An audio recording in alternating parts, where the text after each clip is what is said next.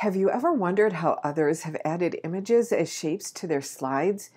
Or maybe you want to add more visual interest to your slides. Hey everyone, I'm Jennifer Sharkey, presentation and public speaking consultant. Using images is a great way to add visual interest to a slide. Here are three image formatting tricks you should add to your design toolkit. So let's go ahead and get started. The first trick is using SmartArt. SmartArt is a quick and easy way to add visual interest to a slide. From the Insert tab, select SmartArt and then choose a Picture SmartArt option. Add your images to the SmartArt to customize ungroup twice or use the select or select to convert to shapes and then ungroup delete all of the text related boxes, and now you can move the objects around, resize, or adjust them. If you'd like to learn more on how to animate SmartArt, click the card to learn more. The second trick is cropping an image as a shape. This option gives you more flexibility in how the image looks inside of the shape instead of doing a shape fill.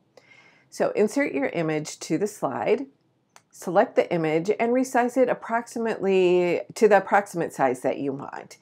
In the Format Picture tab, click the small drop-down arrow that is next to the crop button and then click crop as shape. In the shape options, select the shape that you want. Click the crop button again to resize the shape and adjust the image. Click outside of the image and crop the area to set those modifications. If you want to resize the image shape, just select it and then check, uh, make sure the proportional resize option is checked in the Format tab, and then use the sizing handles to adjust it either bigger or smaller. If you're getting value from this video, make sure you like and subscribe. If you'd like to learn more about creating great slide decks, sign up for my free mini course. The link is in the description below. For high level customization and adding a unique twist, you can add an image across multiple shapes like this example. This effect looks best with a dark, solid background. Add the shape that you want, resize it, duplicate it, uh, duplicate the shape by using Control or Command D, and then go ahead and arrange the shapes in the order and sizes that you want. Then go ahead and select all of the shapes and uh, you can align them horizontally or vertically. Then you want to group all the shapes using the group tool in the Format Shape tab.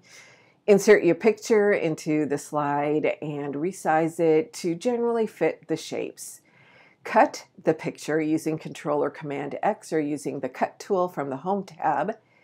Then select the shape group and from the Format Shape tab, click the Format Pane button. Choose the Fill option, click the Picture Fill option, and then click the Clipboard button. Because you've already resized your image, there's less chance it will look distorted inside all of those shapes. Continue watching for more design tips, tricks, and strategies.